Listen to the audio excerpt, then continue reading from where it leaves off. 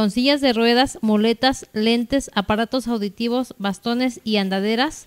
Este viernes un total de 1.984 michoacanos que sufren alguna discapacidad cambiaron radicalmente su vida. Cerebral, cinco bastones, tres andaderas,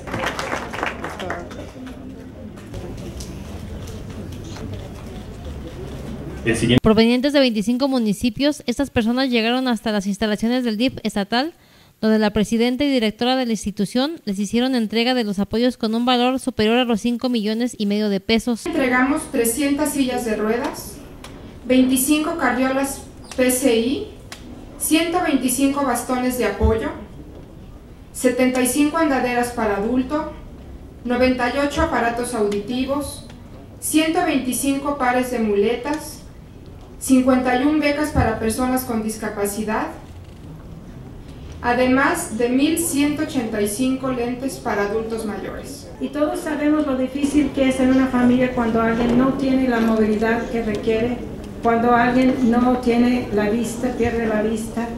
Y pues es nuestro compromiso ayudar a las familias que no tienen los recursos para atender estas situaciones porque el desgaste es para todos. En el marco del evento, la presidenta del DIF estatal destacó que durante el presente año se hará otra entrega de apoyo similar, ya que el recurso invertido hasta el momento es del 2014 y con el del 2015 se cubrirá otra serie de necesidades de personas con discapacidad. Para Cuasar TV, Sandra Sáenz.